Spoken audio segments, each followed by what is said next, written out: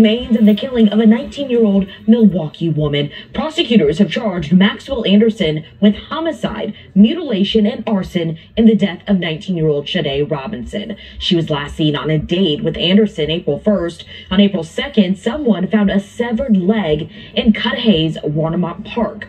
Prosecutors say DNA evidence shows that it is Robinson's. Remains found in other areas have not yet officially been linked to Robinson.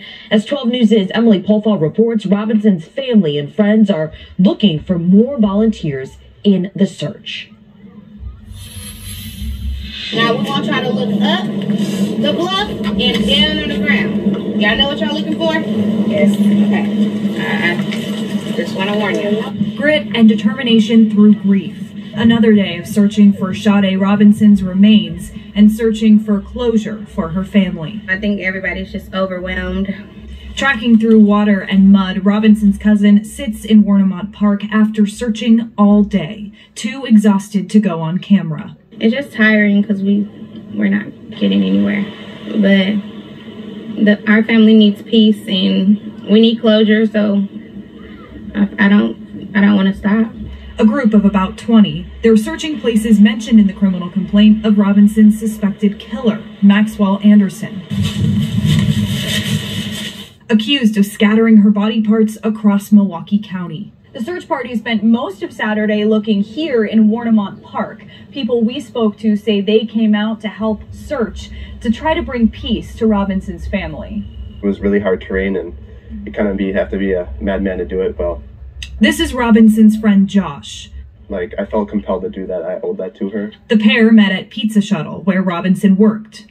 She was gorgeous and her smile could like brighten anyone's day and she just had that personality where she could cheer you up. The group is still learning how to organize a widespread search party and they're doing it with little help. I've never been part of a search or anything like this before. People want to get on the water because obviously he, she might be in the water and we don't have the resources. In Warnimont Park, Emily Pofall, WISN 12 News. Sheriff's Office telling 12 News tonight all known locations have been searched multiple times, also saying the search is ongoing as they continue to identify possible new locations through investigation. And the man charged with killing Robinson is on your screen, Maxwell Anderson. He's in jail tonight on a $5 million bond. He is expected back in court later this month. Okay, guys, if y'all stay to it to the end, I hope y'all enjoy it. And I want to put out more content for y'all because y'all been rocking with me. I appreciate it so, so much, y'all.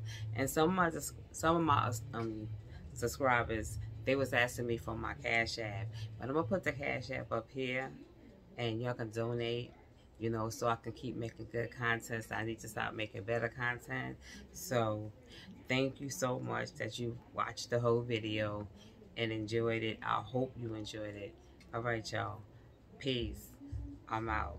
Hit that like button and subscribe.